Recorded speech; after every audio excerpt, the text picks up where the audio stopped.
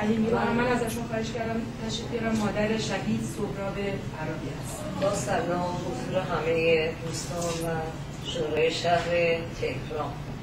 که اگر ما رو به عنوان یک شهروند بدانم درد دلمون خیلی زیاد پسر من روز دوشنبه 25 گم کردم در اون راهپیمایی مسالمت آمیزی که اعتراض به خاطر رنگ با اون جمعیت کمی کم سه میلیونی که جمع شده بودن مردم فرزندم رو گم کردم و موبایلام چون قطع بود خیلی گشتم.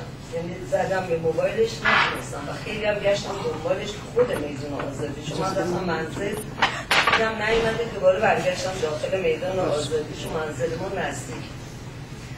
و صحنه خیلی فجی بود. یعنی نمی‌تونم انقدر گاز اشکاور می‌زدن و انقدر فضای اونجا حالت جنگ پیدا کرده بود که من خودم از بعد سینم گرفته اصلا مریض دیگه بچه رو که من پیدا نکردم اومدم خونه و با پسرهای دیگه و بستگانم به تمام بیمارستان ها تمام کلانتری ها مراجعه کردم. جوابی نشدم چون این بچه کارت شناسایی همراهش نبود. یه مقدار, پول همراهش بوده که گفته من میرم تستم بخرم از انقلاب بعد میام مثلا بشن ایشون 19 سالش بود و کنکور داشت. امسال دو تا کنکور.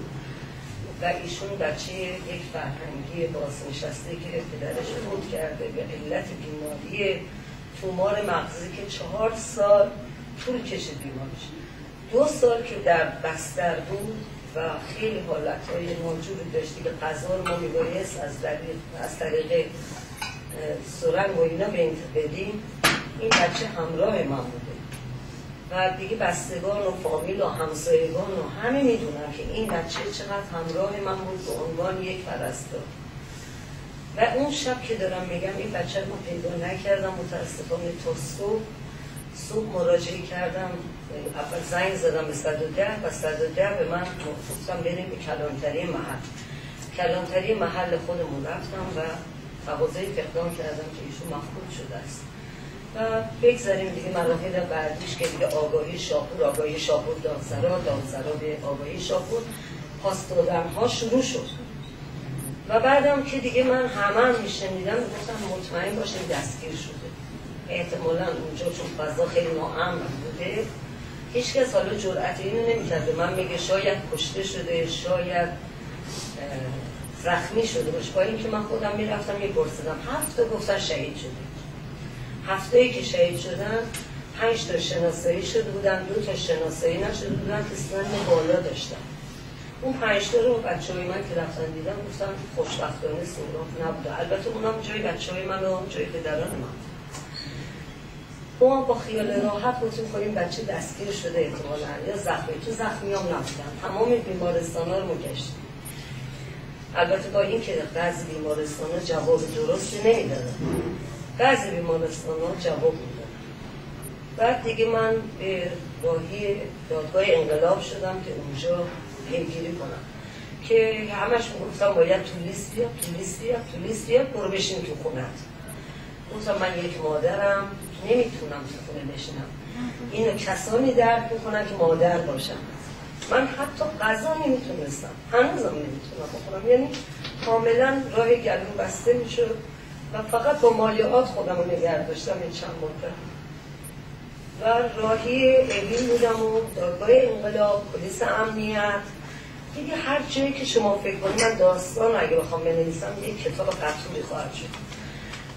تا اینکه و بگذاریم که برای روز کنکور اعلام کردم. خودشان در اوین یکی از مسئولین زندانبان بود. کی بود نمی‌شناسم. من چون اسامی رو اینا هیچ نمیگم.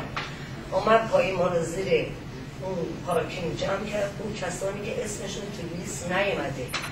کسانی که تماس تلفنی نداشتن. چون بچه منم تماس تلفنی نداشت گفتم تمام این کسانی که مشکل دارن اینجا برم به دادگاه انقلاب مراجعه کنم و از اونجا پیگیری کنم اگه بچهشون کنکوریه برن کنکوری ها می‌خوان آزاد می‌کنیم سی تاشون هم دقیقا من اونجا بودم آزاد کردم. چون من کلا شبانه روز اونجا بودم. همه منو می‌شناسن. تمام ارگان های چیزی می‌شناسن. ببخشید من مزاحم وقتتون میشم به خاطر اینکه درد دلم خیلی زیاد از وقتای بعدیم استفاده از دوستان اگه اجازه بعد اونجا اعلام کردم برید به خاطر کنکوریا من رفتم همه کارهای کفالت رو انجام دادم برادرم زمانت کرده. هنوزم کارت ملی برادر منو گرفتن ندادم. بعد سه بار فکس کردم. گفتن اسم این بچه نیست. منم قبول کردم تو لیست معمولی زندان نیست. ولی گفتم در بندهای مخصوصی اینها اونجا هستن که به ما لیست نمیدن. حتی اسم اون افرادم میگم که چه کسانی این حرفا رو زدن اگه لازم باشه. باز هم من طبق معمول عکس بچه‌مو دادم به طریقای مختلف رفته داخل زندان کارت ملی دادم به عناوین مختلف فوتوکوپی شناسنامه دادم کارت کنکور دادم خیلی کارا کردم. یعنی دیگه تا آخرین کارهایی که می‌تونستم انجام بدم. ولی ایشون رو نیفتند و جوابی به من ندادن. تا روز آخر روز پنجشنبه یا جمعه روز دفعه روز 18 هم بود که آقای از مسئولین گفت شما به دادگاه انقلاب بازم مراجعه کن اینجا نیا. گفتم چیکار باید گفت برو دادگاه انقلاب. شنبه رفتم دادگاه انقلاب روز شنبه 20 تیر.